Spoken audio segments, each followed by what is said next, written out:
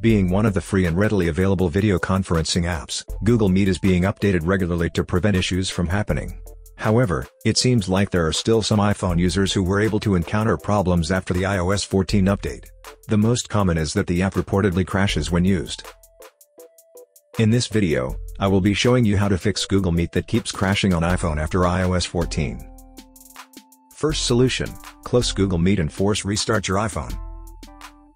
Most of the time, app crashes are minor app issues, regardless of whether the app is popular or not. They occur every now and then but they're not necessarily hard to fix. In fact, closing the app in question and reopening it might fix the issue, but it's best to also refresh your device's memory. So here's what you need to do. Swipe up from the bottom of the screen and stop at the middle. This will show you the app previews.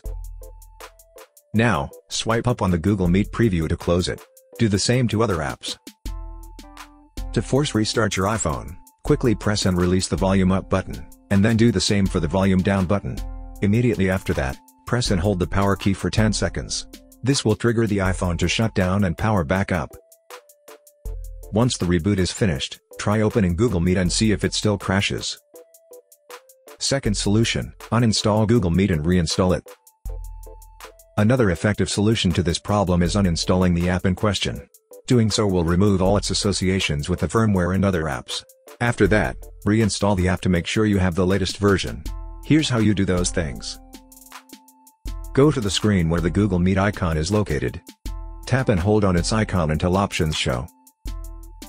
Tap Delete App. Tap Delete to confirm the deletion of the app. Once the app is successfully uninstalled, launch the App Store. Search for Google Meet, and then tap the install icon. Wait for the app to be successfully installed on your iPhone. When the installation is finished, tap Open to launch it. Most of the time, these are the only things you need to do to fix an app that keeps on crashing. However, if for some reason the problem continues, then you have to do the next solution. Third solution, factory reset your iPhone. A reset will be able to fix this problem but make sure to create a backup of your important files and data because they will be deleted and you may not be able to retrieve them. When ready, follow these steps. From the home screen, tap Settings. Find and tap General. Scroll down to the bottom of the screen, and then touch Reset. Tap Erase all contents and settings. Tap Erase now. If prompted, enter your security lock. Tap Erase iPhone at the bottom of the screen. Tap Erase iPhone again to proceed. Enter your Apple ID password and then tap Erase at the upper right corner.